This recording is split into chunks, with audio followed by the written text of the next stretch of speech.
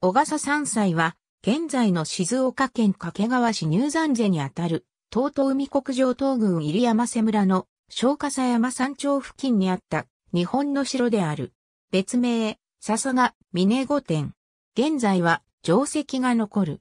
掛川城を攻略するために築かれ、後に高天神城を包囲するための高天神六砦の一つとなった。高天神城と六砦の位置関係1、小笠山祭、2、脳が坂砦、3、日が峰砦、4、獅子ヶ花砦、5、中村砦、6、三井山祭、7、高天神城東東海国上東郡の入山瀬村に立地する。海抜250メートルほどの小笠山の頂に位置している。1569年、今川内実方の掛川城を攻略するために、この砦に徳川家康の本陣が置かれたとされる。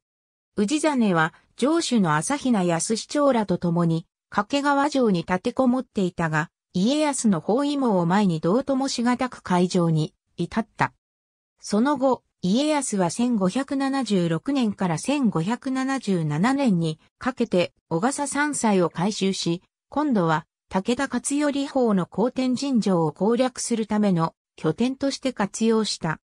なお、小笠軍師によれば、この砦に家康が軍勢を置いたために、入山勢村など近隣住民は離散の浮き目に遭い、砦に隣接する小笠神社は荒らされ、古文書も防出するに至ったとされている。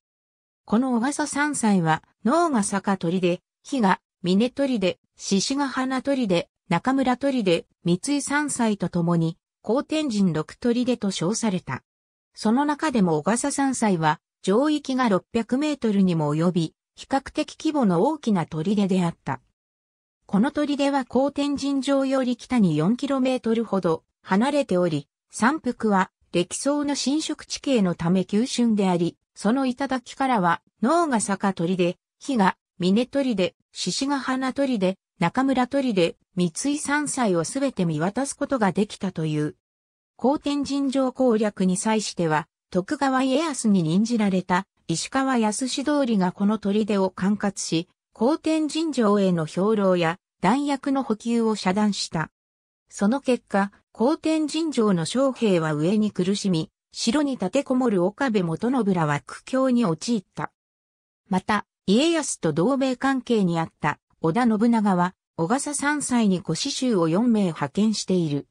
1581年になると、信長は家康を支援するため、水野忠重らを援軍として差し向けている。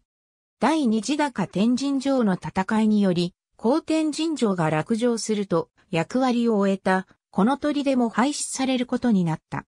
その後、砦跡の遺構は特に整備されておらず、車、横堀、土塁などは残存しているものの、王子を忍ばせる跡はほとんど残存していない。ただ、小笠山祭跡であることを示す標柱が建てられている。この砦は、小笠山に位置することから、その名を取って、小笠山祭と呼ばれるようになった。